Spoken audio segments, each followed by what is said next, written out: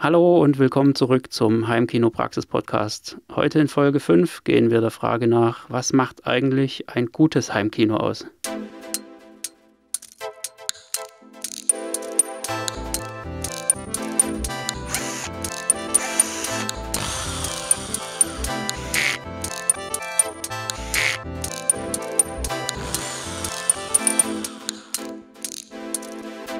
Heimkinopraxis Podcast. Ja, Florian, was macht für dich ein gutes Heimkino aus? Ein gutes Heimkino, also was ein Heimkino allgemein ist, hatten wir in der allerersten Folge und jetzt geht es darum, wirklich zu sagen, okay, was ist nicht ein Heimkino, sondern was ist wirklich sehr gut. Wir versuchen es mal ein bisschen zu strukturieren und fangen mit der technischen Seite an.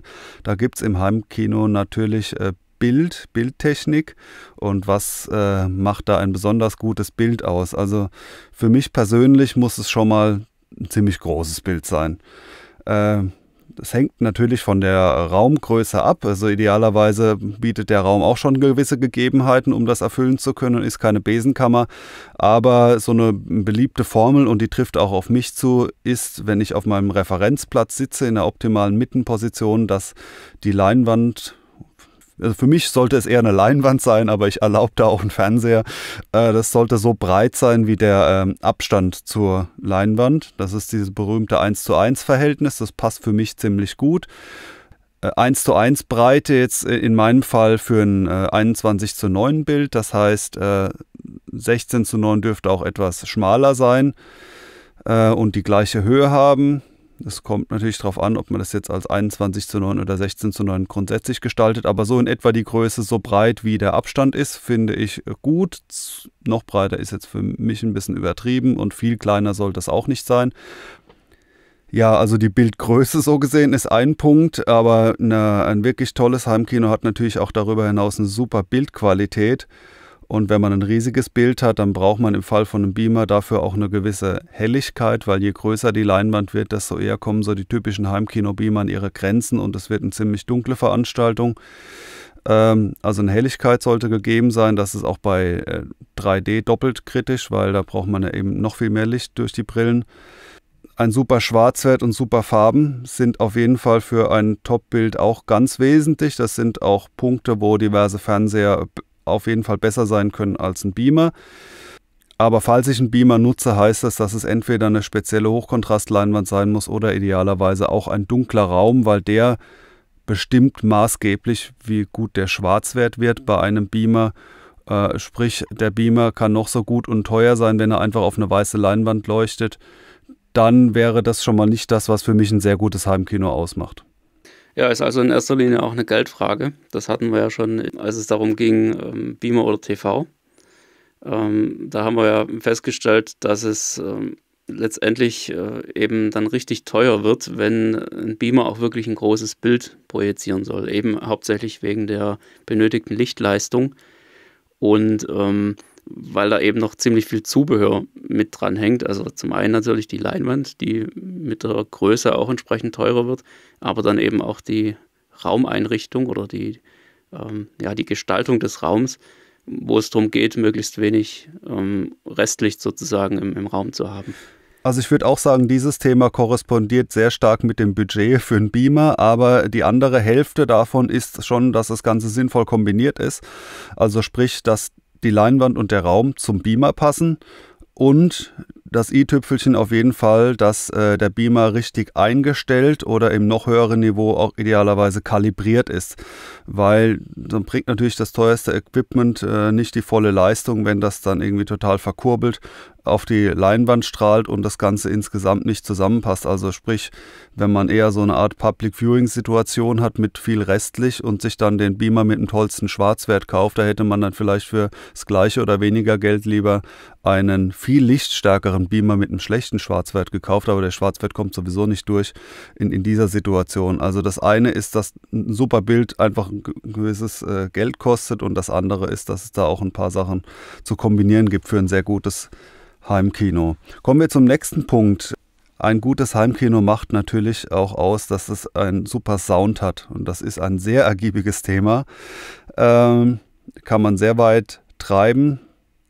Also Klar kann man auch Stereo oder sogar Mono in einem Heimkino nutzen, aber wenn wir jetzt sagen, was, was ist ein sehr gutes Heimkino, dann sprechen wir wahrscheinlich schon von 5.1 oder von, von ähm, 7.1.4 oder sogar neuerdings dann noch mehr Lautsprechern. Also erstmal einer gewissen Anzahl Lautsprecher, die in der Lage sind, äh, alle möglichen Positionen im Raum abzubilden, die optimal positioniert sind, also nicht der Center, der auf dem Boden liegt, sondern idealerweise ist auch der Center in der Bildmitte und ähm, spricht durch die akustisch transparente Leinwand äh, mich mittig an und auch die anderen Lautsprecher haben idealerweise die nach den Winkeln die, die beste Position. Da kommt man in jedem Raum an Grenzen, weil in jedem Raum gibt es dann mindestens eine Tür, meistens auch noch Fenster. Und wenn man mit so vielen Lautsprechern anrückt, ist immer irgendwas im Weg und an der falschen Stelle. Aber es sollten so viele wie möglich äh, Lautsprecher an, ihrem, an einem perfekten Platz sein. Was auch noch ähm, einen guten Sound ausmacht, ist, dass der möglichst auf mehreren Plätzen gut ist. Natürlich, sofern man mehr als einer Person Filme schaut, aber das unterscheidet Heimkinos schon auch. Manchmal gibt es wirklich nur einen Referenzplatz, der gut klingt und der Rest klingt total schrottig, weil dann ein Lautsprecher viel lauter ist, weil ich direkt mit dem Ohr nebendran sitze zum Beispiel. Und es ist auf jeden Fall eine Herausforderung, mehrere Plätze ähnlich gut klingen zu lassen. Das macht es auch in einem richtigen Kino so schwer, weil da gibt es eben mehr als 100 Plätze. Die sollen ja alle noch passabel klingen. Ja, das muss man relativieren. Ähm, das ist wirklich ein extrem wichtiges Thema und ähm, leider auch ein großer Enttäuschungsfaktor. Aber äh, du kannst dir das ja eigentlich immer so vorstellen. Ähm, wenn du in einem Heimkino drei Plätze nebeneinander hast und du rutschst aus der Mitte raus auf den Platz daneben, dann ist das ungefähr vergleichbar damit, wie wenn du in einem großen Kino sitzt und zehn Plätze weiter zur Seite rutschst. Ja, das heißt, du kannst in einem großen Kino wesentlich mehr Plätze optimal beschallen als in einem Heimkino, weil einfach der, der Sitzplatzunterschied relativ zu den Lautsprechern in einem Heimkino wesentlich schneller abweicht ein Platz weiter und du hockst komplett außerhalb der Mitte. Genau. Während in einem großen Kino kannst du dich einige Plätze hin oder her oder vor und zurück ja. setzen und hast trotzdem noch ungefähr diesen Referenzplatz in der Mitte. Ja. Wenn ich in einem drei Meter breiten Raum äh, mich einen halben Meter zur Seite bewege, ist das eine Welt. Wogegen, wenn der Raum zehn Meter breit ist, ist ein halber Meter äh, eher vernachlässigbar. Und das ist direkt korrespondiert mit der Lautstärke. Und dementsprechend ist es einfacher äh, in einem großen Raum, ähm, also wo, wo auch jeder mit Abstand zur Wand sitzt, das gut hinzubekommen. Immer da, wo, äh, ja, wo, die, wo ein Sitzplatz schon quasi an die Wand anstößt, wird es schwierig, beziehungsweise ist eine Herausforderung.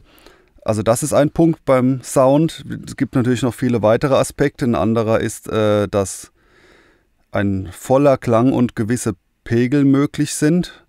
Also damit meine ich jetzt für mich persönlich nicht, dass das Blut aus dem Ohr läuft und das abartig laut wird, aber es sollte schon relativ laut möglich sein, äh, damit eben, wenn einfach nur ein Dialog stattfindet, man schon das Gefühl hat, wow, hier ist eine, eine große Stimme, die darf jetzt für mich auch so dieses Larger than Life haben, also dass es überlebensgroß ist und also dementsprechend lauter und voller, als würde jetzt jemand aus der Leinwand in echt sprechen.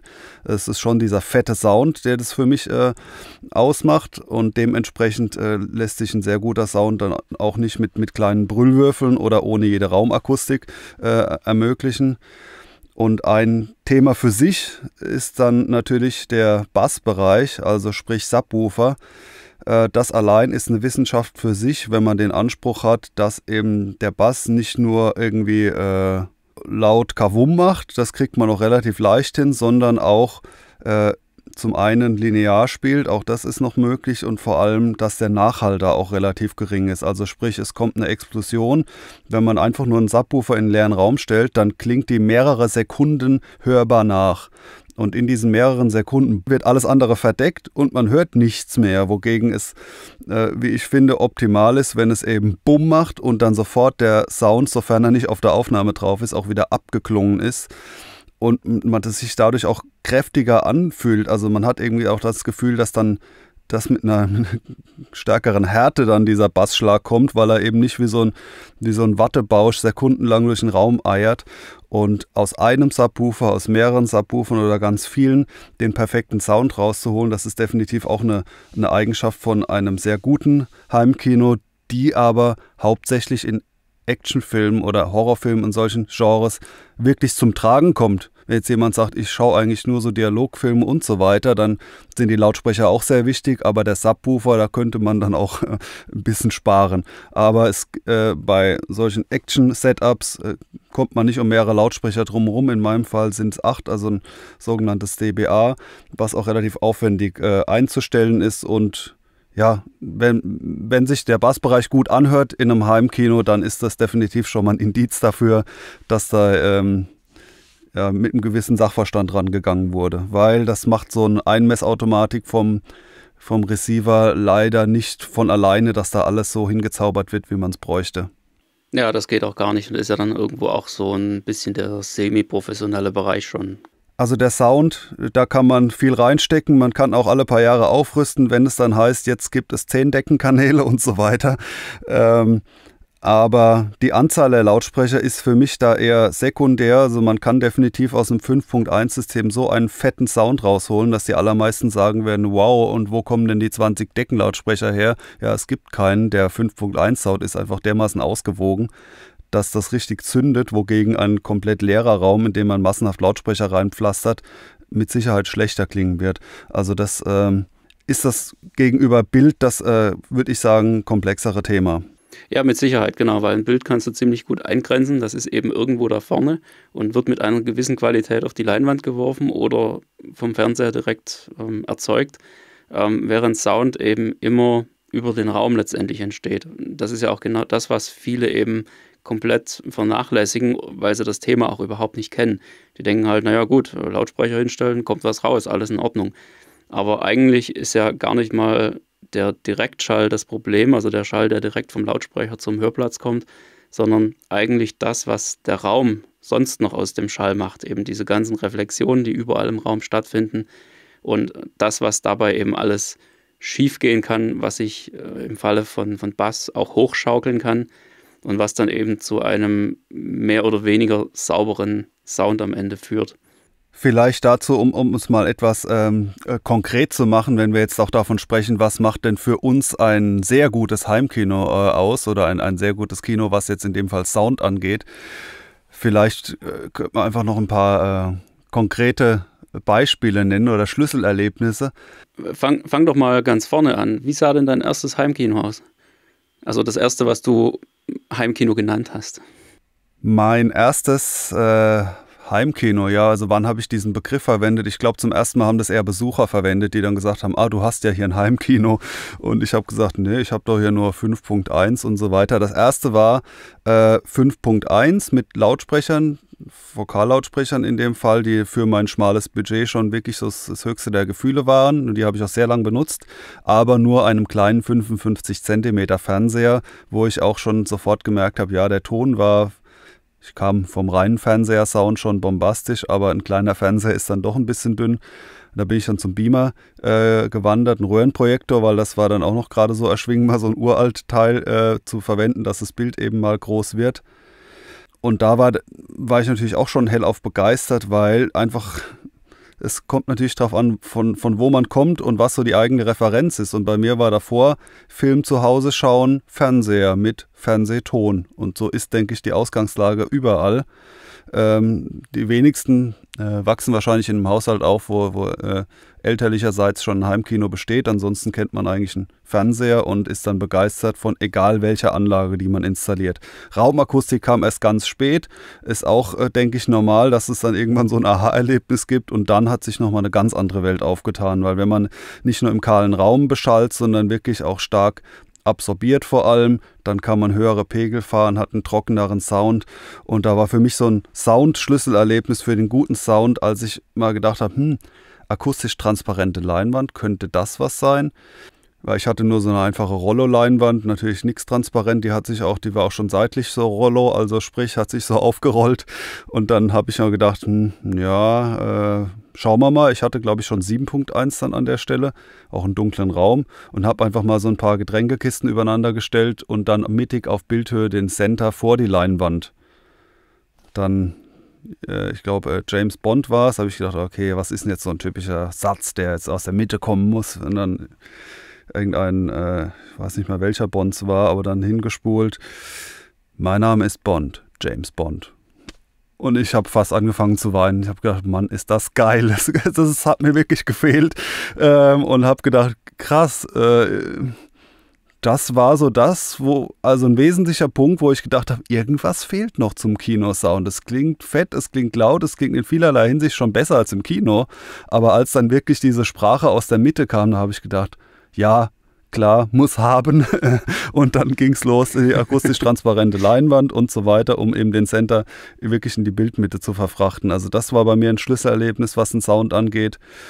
Ähm, den Subwoofer auf ein Level bringen, wo er wenig Nachhall hat. Sprich, das DBA war definitiv auch äh, nochmal ein geiler Effekt, den ich aber so hätte gar nicht beurteilen können, wenn ich es nicht mal selbst gehört hätte, weil man weiß auch natürlich oft nicht, was einem fehlt. Dann ist man eigentlich noch selig und äh, noch nicht verseucht. Äh, wenn man dann mal gewisse Dinge erlebt hat, dann äh, stellt sich teilweise ein gewisser Willhaben-Effekt äh, ein. Und das andere Mal, wo ich mich erinnere, das war jetzt in einem echten Kino, wo ich dachte, Mann, das ist krass. Das war, glaube ich, dieses Sony-Kino in Berlin, das ist schon viele Jahre her. Da kam also noch Kinoerscheinung, äh, Batman, ähm, The Dark Knight habe ich dort gesehen. Mhm, okay. Ähm, und ich kenne ja oft Kinos, die einfach viel zu laut sind, wo es weh tut, weil man denkt, wow, das hört sich ja an, wie wenn man hier irgendwie zwei Fensterscheiben in eine Kreissäge reinwirft. Die wollen einen irgendwie äh, mürbe machen in dem Kino. Einfach nur irgendwie laut. Ähm, aber da war der Sound tatsächlich ganz gut und dann gibt es da so eine Szene irgendwo in der Mitte, wo äh, äh, Batman sein neues Spielzeug vorgeführt bekommt und ähm, irgendwo im Keller ich weiß nicht mehr, wie genau der Zusammenhang ist, dann werden so Schüsse abgefeuert, macht es dann Bum, Bum und äh, danach im, im, aus dem Film heraus der Satz, laut genug. und das war in diesem Kino wirklich dermaßen laut. Also wir haben uns, ich war mit einem Freund uns angeschaut und es ist ich hatte meine Zweifel, ob die zu diesem Zwecke hinten dran irgendwie Böller gezündet haben.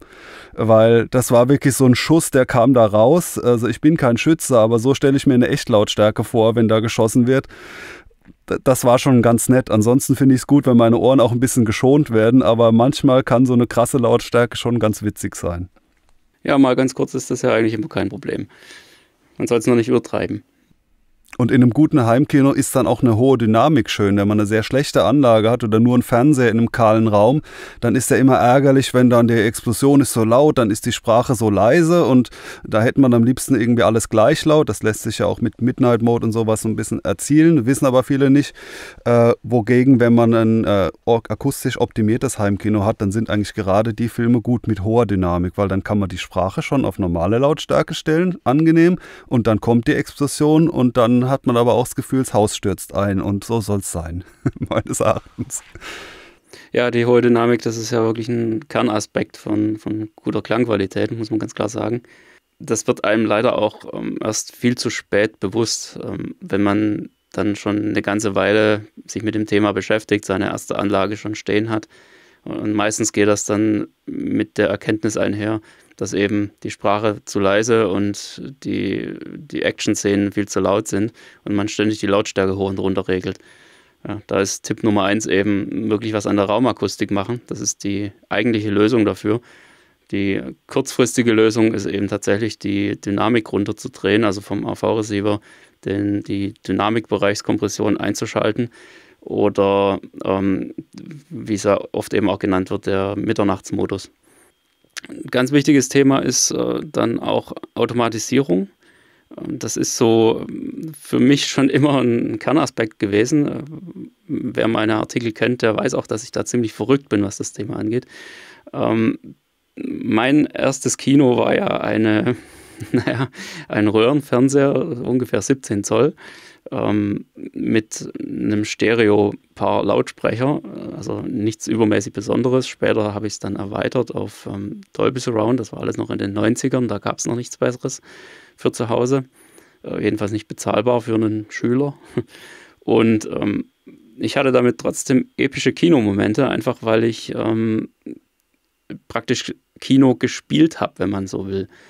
Ja, also ich habe das alles immer vorbereitet, habe den Raum abgedunkelt. Der, der Film stand an Position 0 auf Pause, also ich musste den wirklich nur noch starten. Und ähm, dann ist man nochmal losgegangen, hat sich noch eine Schüssel Popcorn geholt oder irgendwas. Und dann kam letztendlich das eigentliche Kinogefühl, was für mich auch schon immer das Heimkino ausmacht, einfach dadurch zustande, wenn man den Raum betritt, sich in Ruhe hinsetzt, ähm, die Tür vorher noch zumacht ähm, und dann eben den Film startet und das Ganze möglichst automatisiert abläuft und oder ähm, eben diese, dieses Gefühl vermittelt, dass man selbst eigentlich gar nicht mehr der Filmvorführer ist, also derjenige, der die Knöpfchen drückt, sondern dass das alles mehr oder weniger automatisch passiert. Und, und da kommt eben das Thema Automatisierung rein und auch, auch ein Thema, das, das äh, sträflich vernachlässigt wird von vielen, aber zum Glück ja mittlerweile Einzug findet in äh, jedes gewöhnliche Heimkino. Einfach dadurch, dass. Ähm, Smart Home ist ja auch ein recht neues Thema insgesamt. Genau, da, dadurch, dass eben Smart Home und, und auch so Universalfernbedienungen äh, mittlerweile immer mächtiger werden. Ja. Also der, das Flaggschiff ist ja da im normalen Consumermarkt die, die Logitech Harmony Elite, mit der man so ziemlich alles machen kann. Also wenn man sich mal bis zu der hochgearbeitet hat, kommt dann erstmal lange Zeit nichts und, und dann steigt man erst richtig ähm, schwer in das Thema Smart Home ein und, und äh, kann sich auch auf noch teurere Produkte stürzen. Äh, aber gerade bis dahin kann man schon wahnsinnig viel machen. Ich erinnere mich noch gut, dass ich in, in diesem ersten, dieser ersten Version eines Heimkinos damals ähm, so eine relativ billige Universalfernbedienung hatte. Ähm, war eigentlich nur so ein, so ein großer Klotz, wo man ähm, zwischen mehreren Tastenbelegungen einfach umschalten konnte. Und die Tasten konnte man eben selbst programmieren, also indem man die Infrarotbefehle von den Originalfernbedienungen anlernt. Ähm, und letztendlich lief das aber immer noch so ab, wenn ich den Film starten wollte, dann musste man eben am AV-Receiver den Eingang wechseln, man musste die Lautstärke irgendwie anpassen, ähm, man musste den Film starten, also das sind so die, die wesentlichen Dinge. Und dazu kommt dann eben noch ähm, die, das Licht auszuschalten oder am besten langsam runter zu dimmen, was zu dieser Zeit damals auch nur über eine einfache Funkfernbedienung ging. Ja, da musste man dann eben den Dimmvorgang starten und dann warten, bis das Licht weit genug unten war und dann den Dimmvorgang wieder beenden. Ähm, das kann ziemlich lästig sein. Hat damals ganz gut funktioniert. Das hatte ich übrigens in meinem ersten Heimkino auch. So eine Funkfernbedienung aus dem Aldi mit irgendwie fünf Knöpfen oder so. Es war lustig in der Mietwohnung, weil jemand anders hatte die offenbar auch. Ja, das, so, das, kann natürlich auch sprich, passieren. Wir haben uns da teilweise gegenseitig das Licht an- und ausgeschaltet. Das, äh, naja. Ja, da sind wir heute zum Glück schon etwas weiter, was die Technik angeht. Ähm, Smart Home ist ja jetzt auch kein Hexenwerk mehr. Aber ähm, was man daraus macht, ist natürlich die Frage. Und äh, ja gut, ich, ich habe es da jetzt natürlich mittlerweile auf die Spitze getrieben, ähm, indem ich mir einfach meine komplette Steuerung selbst programmiert habe. Ja, was man eben so machen kann. Ähm, das ist jetzt auch nicht unbedingt für jedermann eine geeignete Lösung. Ähm, für mich funktioniert es ganz gut, weil ähm, ich kann dadurch eben wirklich den kompletten Ablauf, gerade bei, beim Filmstart, ähm, komplett selbst skripten und, und die ähm, die Abstände zwischen den einzelnen Befehlen exakt anpassen und kann damit im Prinzip wie im echten Kino ähm, den kompletten Ablauf von vorne bis hinten steuern.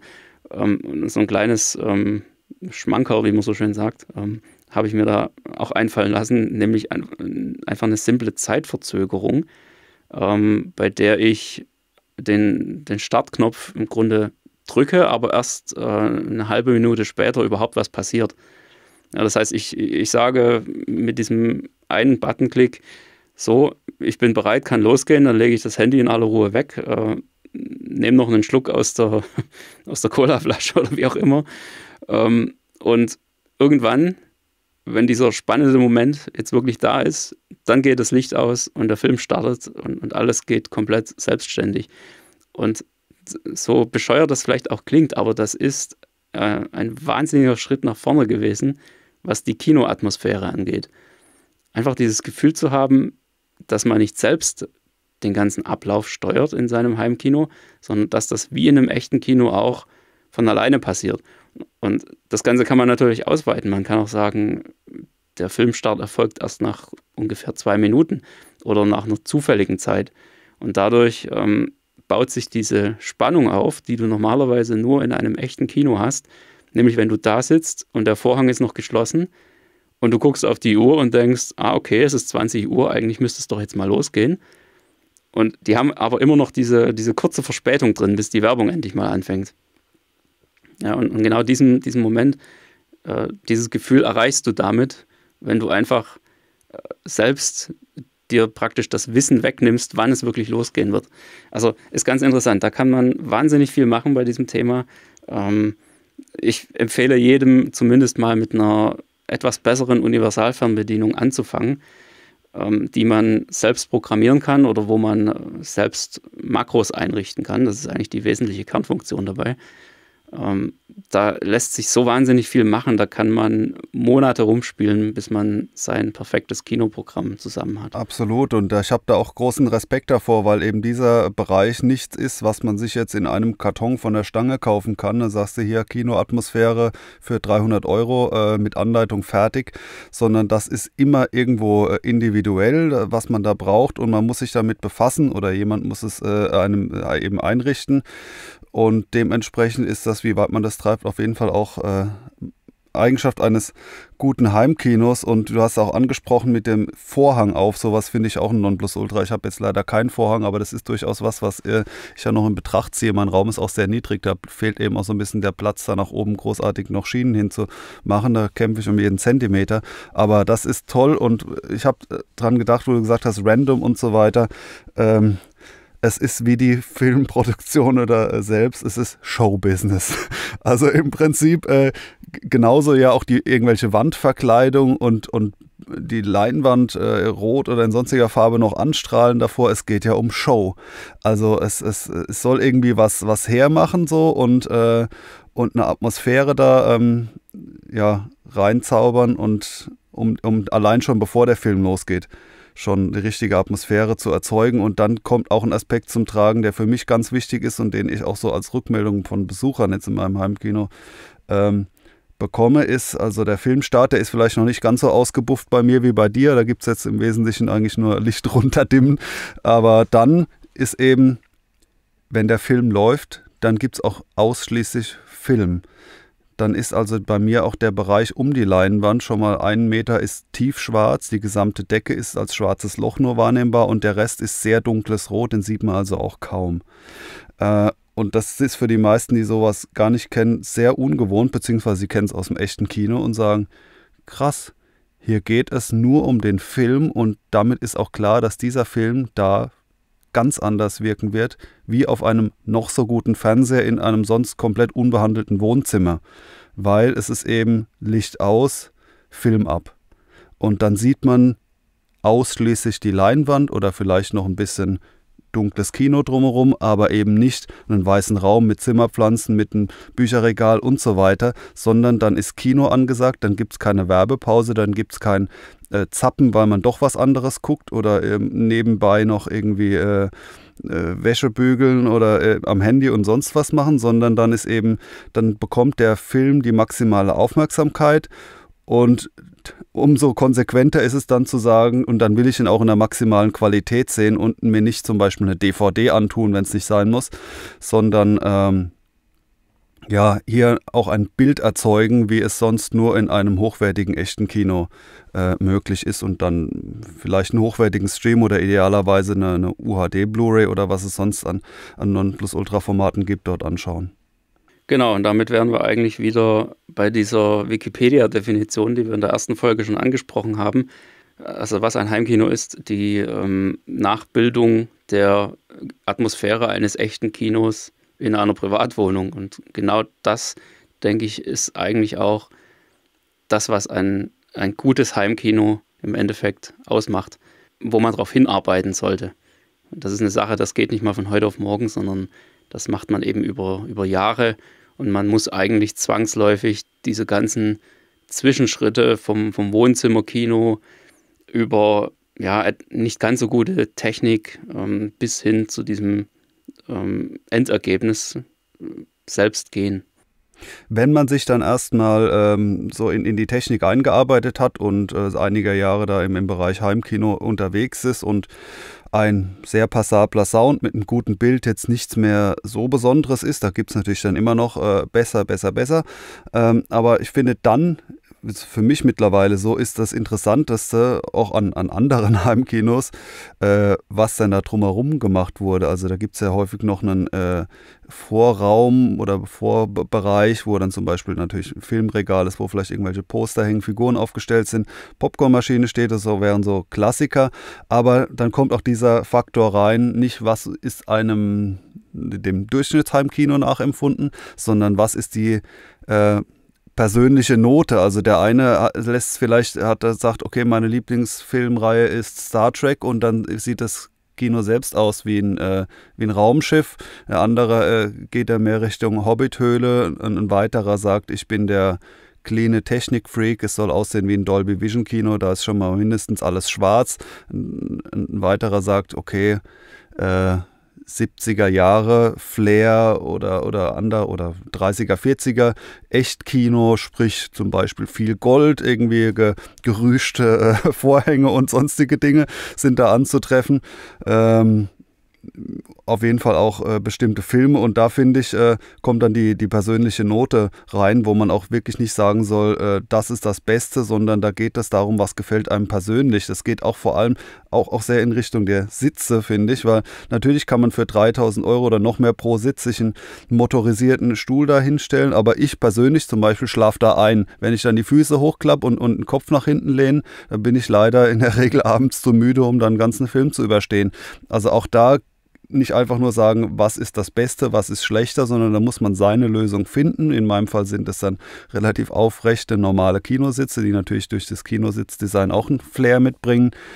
Und den Faktor, wie eben das Kino persönlich aussieht, finde ich dann äh, irgendwann ab einem gewissen Punkt den spannendsten. Dann ist es eigentlich so wie mit den Hundebesitzern, wo man drei Hunde sieht und drei Hundebesitzer und sagen kann, der hat den Dackel, der hat den Schäferhund und der hier hat die Pudelfrisur.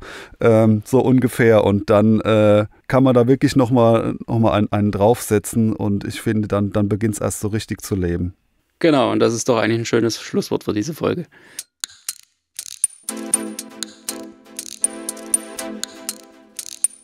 Der Heimkinopraxis Filmtipp.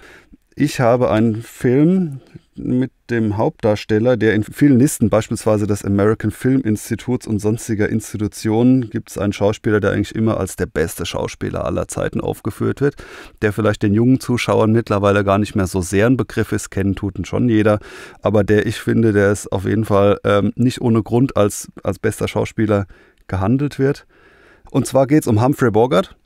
Und ähm, ich empfehle euch jetzt einen äh, recht alten Film, auch in Schwarz-Weiß aber der hat ein super Bild, also auch schwarz-weiß kann man ja unterschiedlich gut aufbereiten. Da sieht man einfach toll viele Grautöne, ist auch ziemlich scharf, auch wenn er Filmkorn natürlich hat, aber er bietet wirklich ein, ein sehr schönes Schwarz-Weiß-Bild in 4 zu 3, so wie es eben damals einfach äh, üblich war, was aber auch zu einem tollen Bild führt.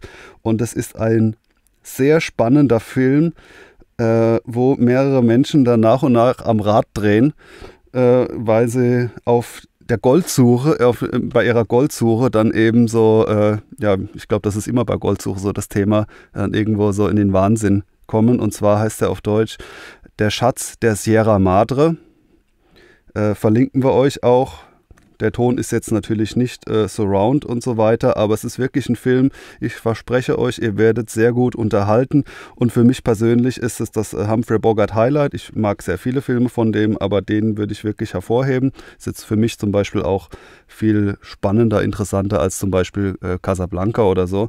Und äh, ja, ein, ein schönes Goldsucher-Drama mit einem Humphrey Bogart, der in dem Wahnsinn verfällt. Ja, wunderbar. Du bist generell so ein Fan von alten Filmen, wenn ich es richtig weiß. Je nachdem, mit wem man vergleicht. Also ähm, ich schaue auch äh, alles Mögliche, was neu rauskommt, natürlich an. Aber bei mir gibt es definitiv auch die Komponente der alten Filme und mich interessiert dann auch teilweise, äh, wo sowas herkam. Wenn man zum Beispiel sagt, ja, äh, ähm, man hat gerade ein paar Filme mit Autorennen gesehen, dann fragt man sich vielleicht, ja, wie hatten eigentlich das mit den Autorennen angefangen? Wenn man irgendwo in der Rezension liest, ja, nimmt Bezug auf irgendwie Bullet mit Steve McQueen, dann war irgendwann mal schon vor x Jahren, muss ich natürlich den auch mal gesehen haben und versucht dann auch so ein bisschen zu verstehen, wo sowas herkommt. Das finde ich sehr interessant.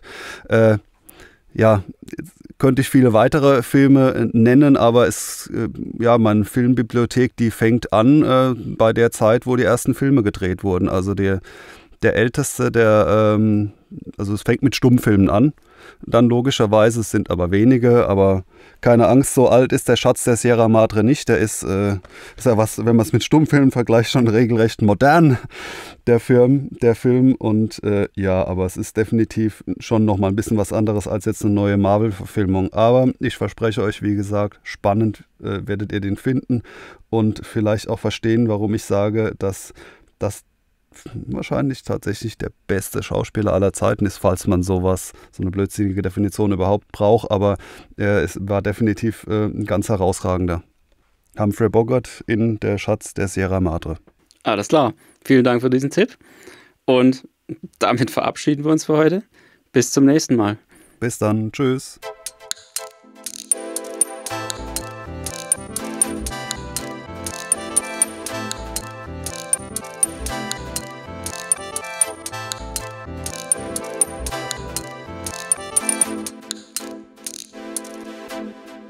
Der Heimkinopraxis Podcast, präsentiert von www.heimkino-praxis.de, der Seite rund ums Heimkino.